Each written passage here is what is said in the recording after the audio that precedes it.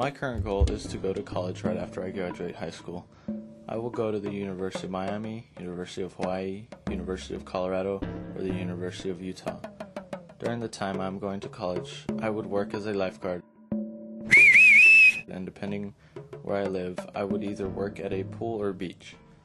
I want to graduate within a four year period and go to the nursing school to become a traveling nurse to help people that are in need around the world.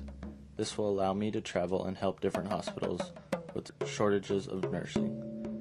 When I settle down and start a family, I want to go back to school, become a doctor, and, and live in Zealand. I love to school for such a complex and exciting career.